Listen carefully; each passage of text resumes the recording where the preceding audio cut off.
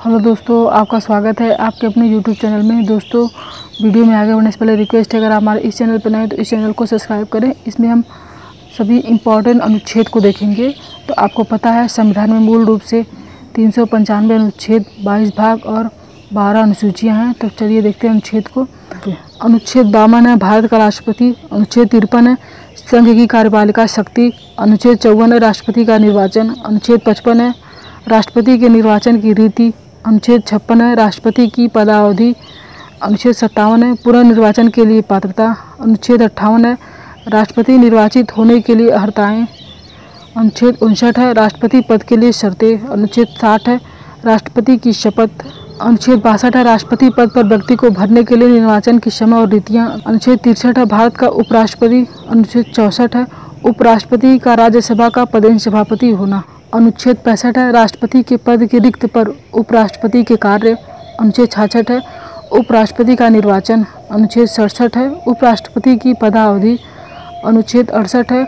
उपराष्ट्रपति के पद की रिक्त पद भरने के लिए निर्वाचन अनुच्छेद उनहत्तर है।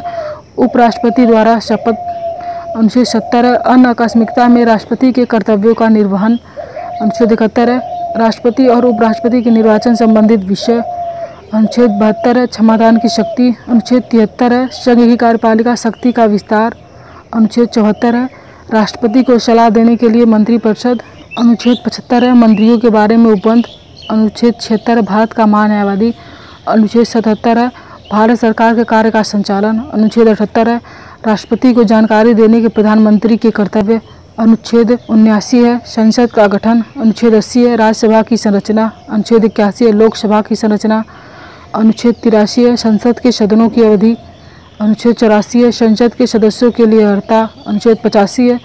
संसद का सत्र सत्रावसान और विघटन अनुच्छेद सतासी है। राष्ट्रपति का विशेष अभिभाषण अनुच्छेद अठासी है। सदनों के बारे में मंत्रियों और महान्यायवादी अधिकार अनुच्छेद नवासी है।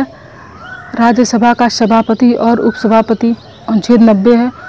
उपसभापति का पद रिक्त होना या पद से हटाया जाना, अनुच्छेद इक्यानवे, सभापति के कर्तव्यों का पालन और शक्ति, अनुच्छेद बानवे, सभापति या उपसभापति के पद से हटाने का संकल्प विचाराधीन हो तब उसका पीठासीन न होना, अनुच्छेद तिरानवे, लोकसभा का अध्यक्ष और उपाध्यक्ष, अनुच्छेद चौरानवे, अध्यक्ष और उपाध्यक्ष का पद रिक्त होना, अनुच्छेद पंचानवे, अध्यक्ष में कर्तव्य एवं शक्तियाँ, अनुच्छेद छानवे, अध्यक्ष उपाध्यक्ष को पद से हटाने का संकल्प हो, तब उसका पीठासीन न होना। अनुच्छेद संतानवे सभापति, उपसभापति तथा अध्यक्ष, उपाध्यक्ष के वेतन एवं भत्ते। अनुच्छेद अंठानवे, संसद का सचिवालय।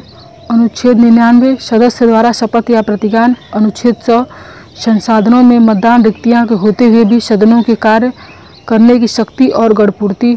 अनुच्छेद एक सौ आठ, कुछ दशाओं में दोनों सदनों की संयुक्त बैठक।